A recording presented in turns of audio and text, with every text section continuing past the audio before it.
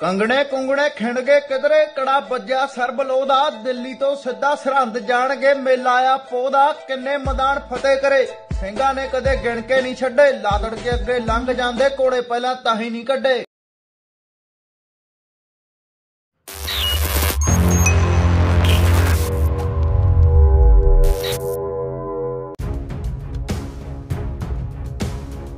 ਸਤਿ ਸ਼੍ਰੀ ਅਕਾਲ ਦੋਸਤੋ, ਕੀ ਹਾਲ ਚਾਲ ਹੈ ਜੀ? ਤੁਸੀਂ ਦੇਖ ਰਹੇ ਹੋ ਤੁਹਾਡਾ ਆਪਣਾ ਹਰਮਨ ਪਿਆਰਾ ਜੱਟ ਬਾਬੇ ਟੈਲੀਵਿਜ਼ਨ।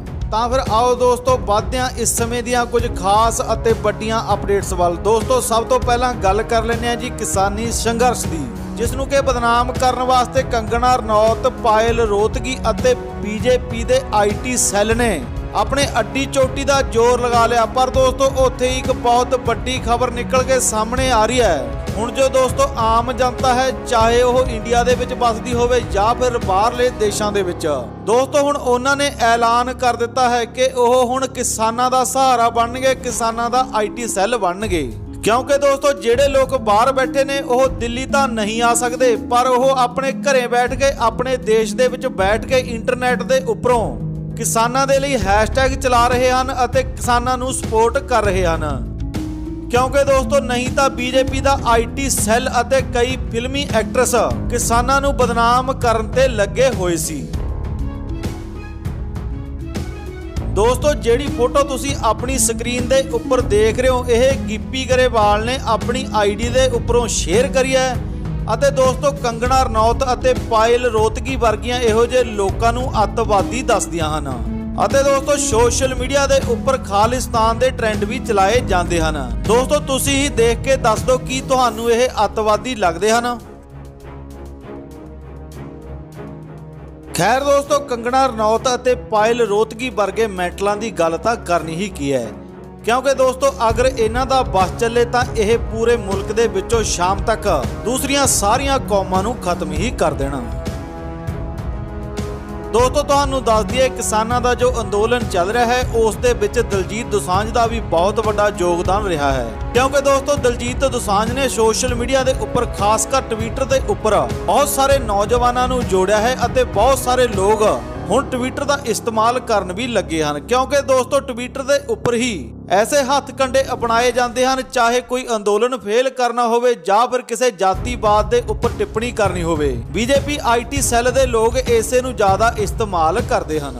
ਦੋਸਤੋ, ਵੈਸੇ ਸਿੱਧੂ ਮੂਸੇਵਾਲਾ ਵੀ ਲੋਕਾਂ ਨੂੰ ਅਪੀਲ ਕਰ ਚੁੱਕੇ ਹਨ ਕਿ ਉਹ ਟਵਿੱਟਰ ਦੀ ਵੱਧ ਤੋਂ ਵੱਧ ਵਰਤੋਂ ਕਰੋ ਅਤੇ ਟਵਿੱਟਰ ਦੇ ਉੱਪਰੋਂ ਕਿਸਾਨਾਂ ਦੇ ਪੱਖ ਵਿੱਚ ਹੈਸ਼ਟੈਗ ਚਲਾਓ। ਅਤੇ ਦੋਸਤੋ, ਦਲਜੀਤ ਦੋਸਾਂਝ ਦੀਆਂ ਉਹ ਪੋਸਟਾਂ ਜੋ ਕਿ ਉਹਨਾਂ ਨੇ ਕੰਗਣਾ ਨਾਲ ਪਾਈਆਂ ਸੀ ਅਤੇ ਕੰਟਰੋਵਰਸੀ ਹੋਈ ਸੀ, ਉਹਨਾਂ ਨੂੰ ਦੇਖ ਕੇ ਵੀ ਬਹੁਤ ਲੋਕ ਟਵਿੱਟਰ ਦੇ ਨਾਲ ਜੁੜੇ ਨੇ। ਇਸ ਦੇ ਵਿੱਚ ਦਲਜੀਤ ਦਾ ਵੀ ਬਹੁਤ ਵੱਡਾ ਯੋਗਦਾਨ ਹੈ।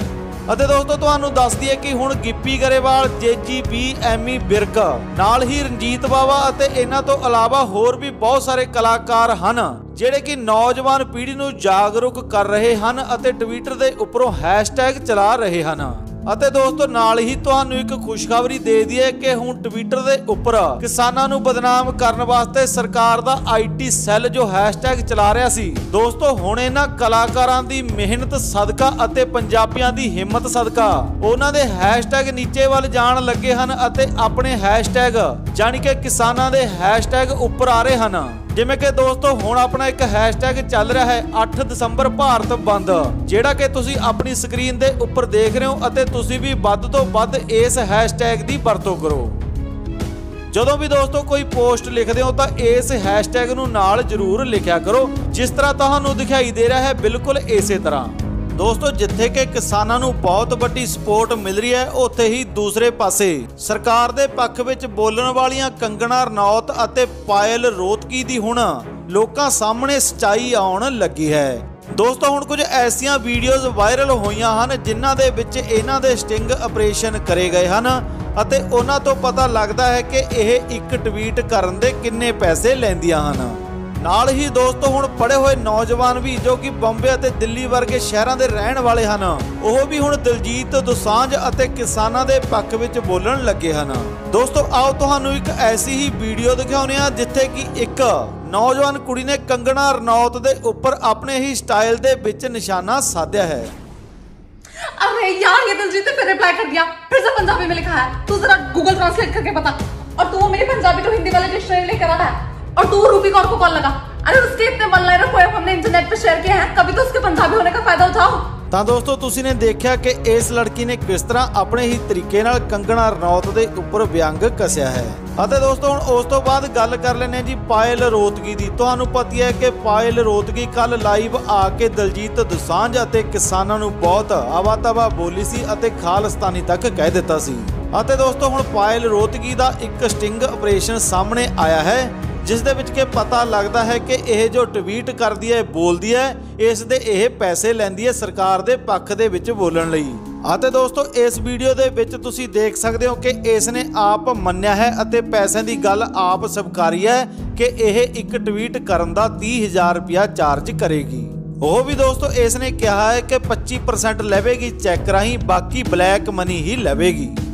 ਆਪਣੇ ਆਪ ਨੂੰ ਵੱਡੀ ਦੇਸ਼ ਭਗਤ ਦੱਸਣ ਵਾਲੀ ਇਸ ਔਰਤ ਦੀ ਆਓ ਤੁਹਾਨੂੰ ਸਚਾਈ ਦਿਖਾ ਦਿੰਦੇ ਹਾਂ। ਇਸ ਲਾਗੂ ਦੇ ਮਾਪੀ ਇਸ ਵਿੱਚ ਕਿੰਨਾ ਮਤਲਬ चेक से कितना ब्लॉक से कैश और कैश करेंगे पाँच लाख तो चेक से पच्चीस लाख रुपए कैश और आप फोन पे मुझसे ट्वेंटी फाइव परसेंट के लिए कुछ बोल रहे थे ना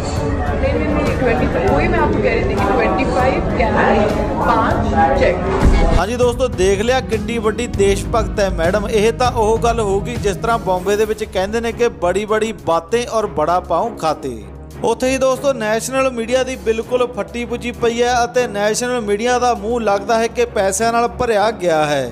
ਇਸੇ ਕਰਕੇ ਦੋਸਤੋ ਨੈਸ਼ਨਲ ਮੀਡੀਆ ਕੁਝ ਵੀ ਨਹੀਂ ਦਿਖਾ ਰਹੀ ਅਤੇ ਐਮੀ ਵਿਰਕ ਨੇ ਇਸੇ ਗੱਲ ਨੂੰ ਲੈ ਕੇ ਚਿੰਤਾ ਜ਼ਾਹਰ ਕਰੀ ਹੈ। ਦੋਸਤੋ ਐਮੀ ਵਿਰਕ ਨੇ ਇਹ ਟੈਗ ਜਿਹੜੇ ਕਿ ਤੁਸੀਂ ਆਪਣੀ ਸਕਰੀਨ ਦੇ ਉੱਪਰ ਦੇਖ ਰਹੇ ਹੋ, ਇਹ ਲੋਕਾਂ ਨਾਲ ਸਾਂਝਾ ਕੀਤੇ ਨੇ।